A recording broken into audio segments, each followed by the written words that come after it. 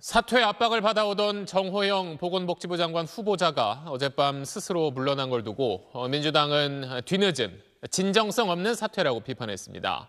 아, 검증이 부실했다는 지적도 이어지는 가운데 아, 현재 자리가 비어있는 교육부와 보건복지부 장관 후보자는 어, 다음 달 지방선거 이후에 지명될 걸로 보입니다.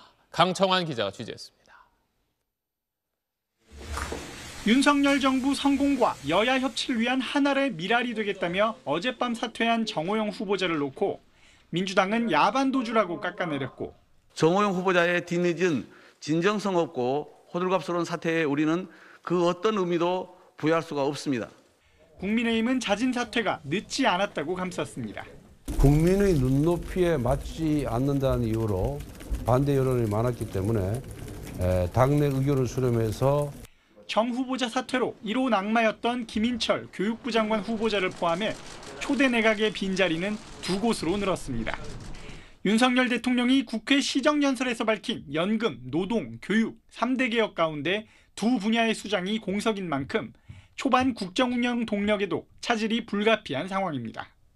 새 후보자 지명은 빨라야 6월 지방선거 이후가 될 것으로 보입니다.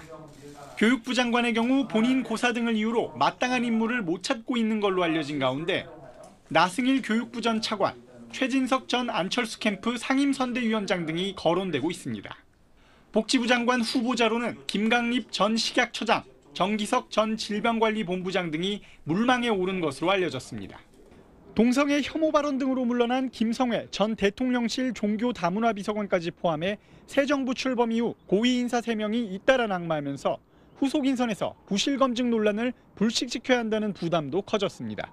SBS 강청환입니다. 네, 안녕하십니까. 김현우입니다. 더 많은 뉴스와 라이브 이벤트를 보고 싶으시면 화면 오른쪽을 눌러서 구독해 보시길 바라겠습니다. 또 저희 SBS 앱을 다운로드 하시면 속보 알림도 받아 보실 수 있습니다. 항상 저희 SBS 뉴스를 시청해 주셔서 대단히 고맙습니다.